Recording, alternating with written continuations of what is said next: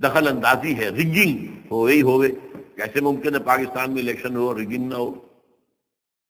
फिर तहरीक चले ही चले। क्योंकि तहरीक तो चल रही है पहले से, सिर्फ़ उसके ऊपर तेल और डालना है ना।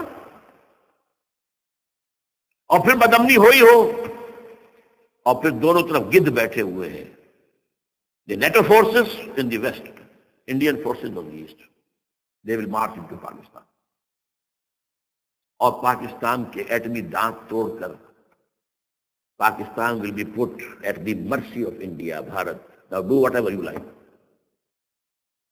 Condoleezza Rice का मैं आपको बयान तक सुना चुका हूँ। पाकिस्तान के मुस्तकबिल का फैसला अमरीका और भारत भी करता है बहरहाल अब तीसरी जो उम्मीद हुई है कि कल परसों में जो हुई है कोलिशन जो है, ये नाकाम होती नज़र आ रही थी।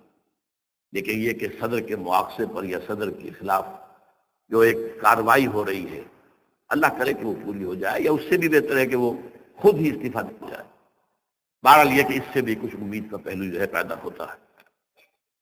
अब यहाँ इस्लामाइजेशन का पुरअमन, तदरीजी और दस्तूरी और कानूनी तरीका क्या है? वो तरीका क्या है? उन्नीस सौ उनचास और पचास में जो अमल शुरू हुआ था जो उसके बाद से आज तक जो है, खत्म हो गया।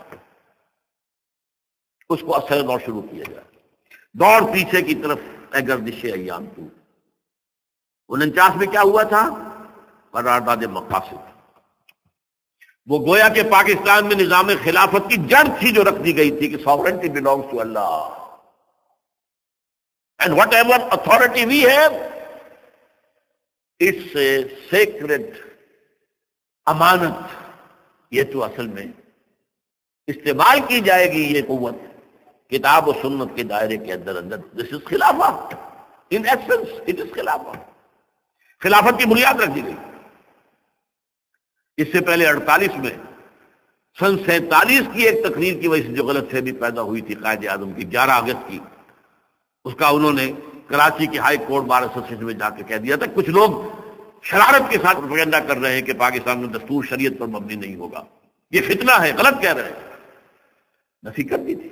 अब ये दूसरी बात है कि अंधों के अंधे जो है, वो उस ग्यारह अगस्त की तकरीर को लिए फिरते हैं उसके एक जुमले को। और ये इतनी खुली बात जो की शरीयत का लफ्ज शरीयत। पाकिस्तान का दस्तूर जो समझता है कि शरीयत पर नहीं मबनी होगा, वो गलत कहता है। वो शरीर है, शरारत पैदा कर रहा है। ये काजल के अल्फाज बहरहाल, उसके बाद एक अमल क्या हुआ था सन पचास में? यहाँ के सेकुलर अनासिर ने एक बड़ा शोर मचाया, किसका इस्लाम लाओगे? शिया का, सुन्नी का, देवबंदी का, बरेलवी का, वहाबी का, किसका इस्लाम? अल्लाह ताला गरीब रहमत करे उन बुज़ुर्गों को। पाकिस्तान के तमाम मजहबी मकातब फ़िक्र की टॉप की क्यादत जमा हो गई कराची में। शिया भी, अहले हदीस भी, बरेलवी भी, देवबंदी भी। इकतीस ओलमा जमात इस्लामी भी मौलाना मौजूदी भी उसमें थे।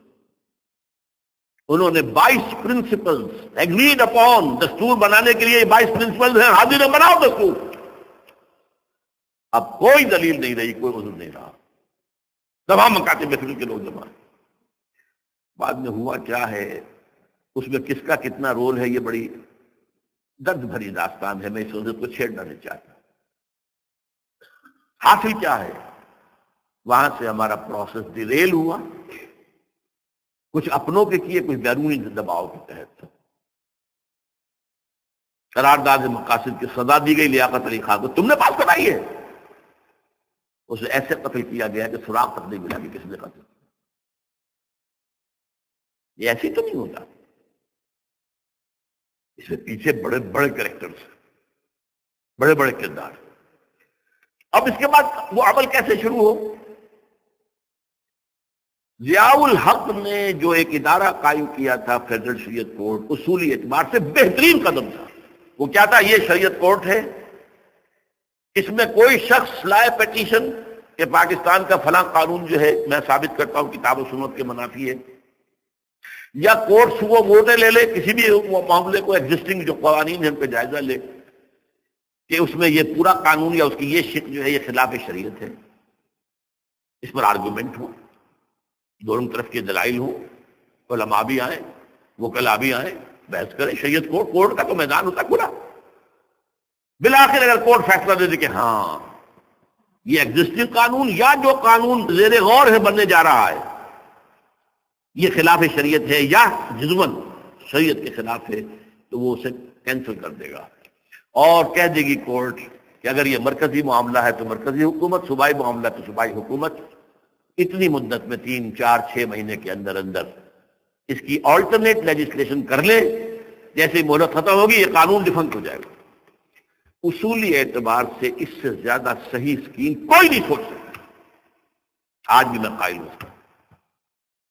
लेकिन ये बदबख्ती थी उस शख्स की, जयाउल हक की।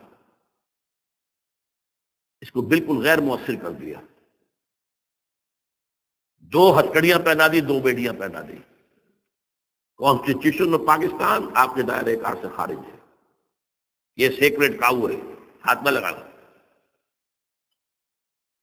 जो जुडिशियल प्रोसीजरल लॉज हैं, जबता दीवानी, जबता फौजदारी, ये भी तुम्हारे दायरे से खारिज है।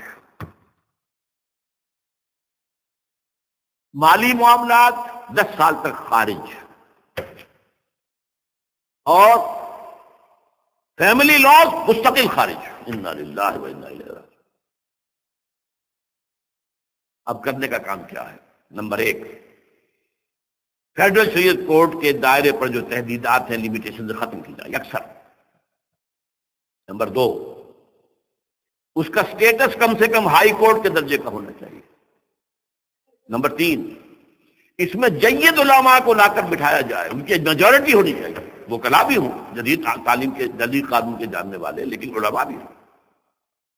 अगर आप जैद उलमा को ले आएँगे तो फिर वो जो आम मौलवी है, बेचारा, वो जो पूरी तरह नीम खानदा है, या नीम तालीम याफ्ता है, या हमारा आम आदमी है, जो तालिबान के अंदाज के अंदर वो शिद्दत पसंदी पर आ गया है, उसे ये अंदाज़ा नहीं है कि दीन में अहमियत शायद किस शय की अव्वल है, फिर दूसरी कौन सी, सालवी शय कौन सी है। अब उसके बजाय तमाम जो है, मसालिक के उसमें शामिल किए जाए इसके फैसलों पर नज़र सानी का खुला मौका होना चाहिए। एक दफ़ा अदालत फैसला कर दे नज़र सानी का मौका होना चाहिए।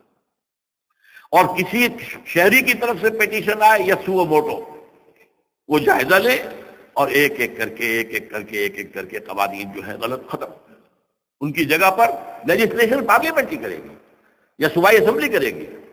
कोर्ट का काम लेजिस्लेशन नहीं वो ये कह सकता है ये भाई, ये मामला जो है शरीयत से तजावज कर गया।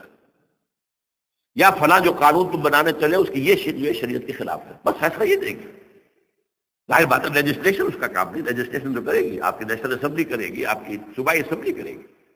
लेकिन वो उसका मुतबादल कानून ले आए और पहला कानून खत्म हो जाएगा। अच्छा इस अरसे के दौरान जो काउंसिल ऑफ़ इस्लामिक आइडियोलॉजी पर अरबा अरब रुपया खर्च हुआ है, उसकी रिपोर्टों के अंबार लग गए किसी एक सिफारिश को भी आज तक पार्लियामेंट में पेश नहीं किया गया और इसमें जैद उलमा रहे हैं और तमाम मकाते में फिर के उलमा रहे हैं। इनकी रिपोर्टों को रफ्ता रफ्ता पार्लियामेंट के सामने लाया जाए और इनके ज़रिए से नई कानून साजी की जाए। अगर आप ये कानूनी दस्तूरी रास्ता खोल देंगे और तजदीजन इस तरीके से Islamisation of laws of Pakistan हो जाए तो ज़ाहिर बात है कि फिर जो दहशत गर्द हैं, दहशत पसंद हैं, जिनको आप खतरा, तालिबान आनंद तालिबान आ गए, तालिबान आ रहे हैं। अब डरो और बचो और मुकाबले की तैयारी करो और असलाह तैयार करो। अगर ये काम करेंगे तो फिर ज़ाहिर बात है कि वो तो फसाद होगा। और फसाद का नतीजा क्या निकले, वो अल्लाह ही बेहतर जानता है। लेकिन ये प्रोसेस जो मैंने बयान किया है, अगर इस पर अमल हो जाए तो ये वो प्रोसेस है जिसे जनरल हमीद गुल ने कहा था कि अगर ऐसा हो जाए तो ये सॉफ्ट रेवोल्यूशन होगा। बगैर तशद के, बगैर किसी और के।